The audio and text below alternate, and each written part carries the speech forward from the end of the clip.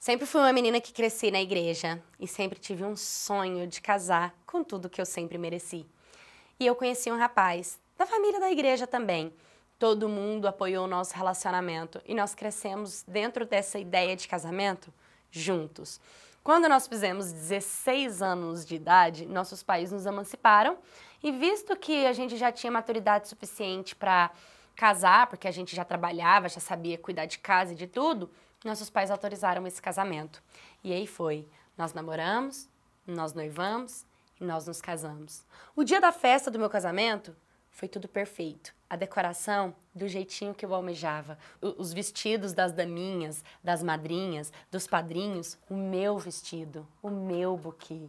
Foi muito bonito esse casamento. Nos casamos com tudo que a gente tinha direito. A festa de casamento duas horas de samba. É, não é porque a gente era da igreja que a gente não sabia curtir, não. Foi a melhor festa, melhor dia da minha vida até hoje. A gente viveu feliz durante 10 anos. 10 anos vivendo conto de fadas, vivendo uma realidade que nem eu nem ele acreditava de tão completo e feliz que nós nos sentíamos, sempre ali na presença de Deus. Quando nós fizemos, fizemos 10 anos e 6 meses de casamento, tudo começou a mudar. Tudo não. Ele começou a mudar. De repente, a casa já não estava mais boa, a comida já não estava mais legal, a minha família já estava muito chata, estava hum, tudo assim desagradável. E eu comecei a mudar tudo para tentar entender o que estava acontecendo.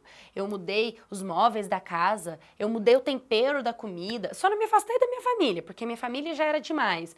Mudei o meu jeito de me vestir e até coloquei silicone, que 50% o sonho era meu, mas os outros 50% era por ele, para agradar a ele, porque ele sempre gostou e sempre achou bonito. E eu fiz pelo bem do nosso relacionamento.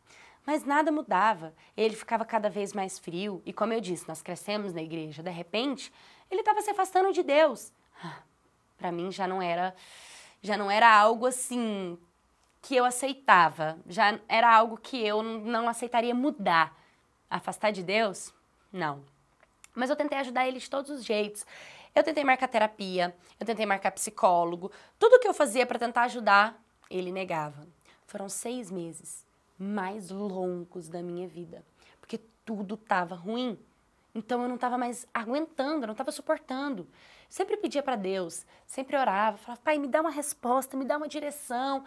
Eu já ouvi falar na crise dos sete anos, do casamento, eu já ouvi falar em crise de, de tanta coisa. Eu sei que casamento não é fácil, mas a gente sempre lidou tão bem com os nossos problemas, mas agora tudo para ele estava ruim.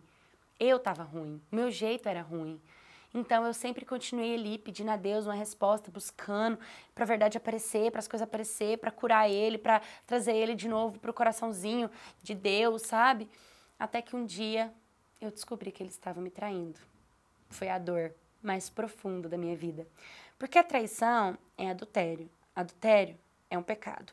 Não que nós não sejamos pecadores, mas colocar uma terceira pessoa dentro de um relacionamento onde você prometeu ser fiel a Deus, não a outro, e você está sendo infiel, respondeu tudo.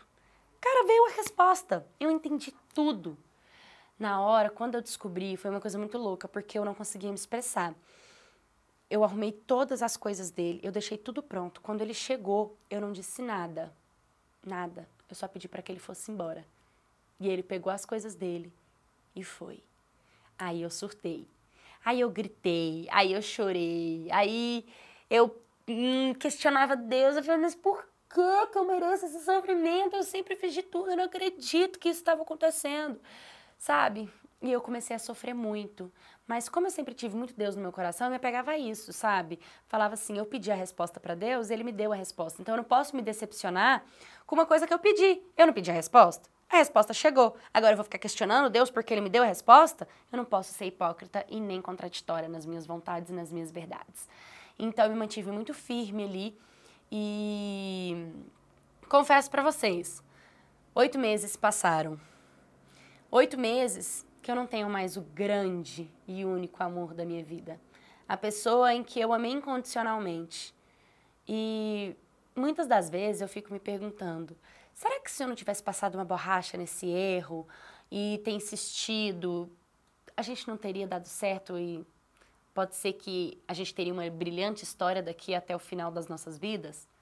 Ou será que ter terminado porque eu não suportaria viver com a carga e o peso de uma traição foi a melhor escolha? Eu não sei. Eu confesso que eu ainda procuro uma resposta. Para ele, eu desejo que der, porque o de melhor com certeza estava comigo. Que ele consiga seguir em frente, assim como eu estou seguindo também. Eu estou vivendo uma escolha que ele fez por nós dois. E ele está vivendo uma escolha que ele fez por nós dois. Porque foi ele que traiu. Foi ele que escolheu esse caminho.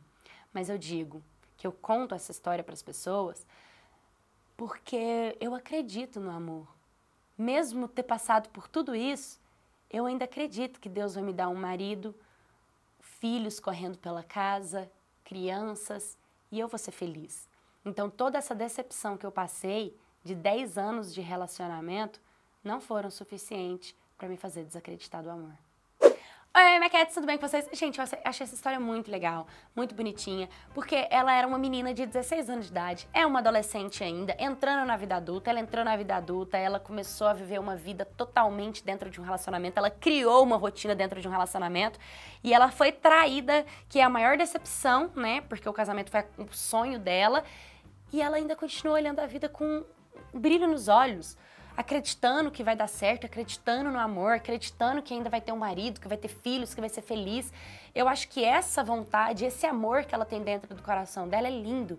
E eu desejo isso para todo mundo. Não porque às vezes você já viveu seu sonho, já casou e seu sonho era concretizar isso até a velhice, não aconteceu porque o outro tomou uma decisão errada por vocês, que você vai deixar de acreditar no amor. Você vai perder a oportunidade às vezes de alguém que realmente quer te valorizar, que às vezes também foi traído e passou pela mesma situação que você, que também tem o sonho de, de ter filhos espalhados pela casa, que tá ali querendo te cuidar, te valorizar e você fala fala que não por uma outra pessoa que já te magoou. Então fica de exemplo. Não é porque uma outra pessoa não soube te valorizar que outras pessoas não vão saber. Até porque o valor está em você e ela mostra que ela se dá o valor quando ela sai do relacionamento e continua acreditando que as coisas vão dar certo. Então se você já passou por algo do tipo também, me conta a história se você já casou, como foi seu casamento, como foi a sua festa, onde você casou, o que, que aconteceu, qual foi o melhor episódio do casamento, qual foi o pior, se foi engraçado, se foi triste, foi trágico, se foi muito feliz. Me conta para contar aqui no canal. Tenho certeza que tem muitas pessoas que gostam de saber de histórias assim de, do dia do casamento. Me manda pelo direct do Instagram ou no Messenger aqui do Facebook. Me segue nas redes sociais. Curte, comenta, compartilha, se inscreva no canal. Um beijo e até o próximo vídeo.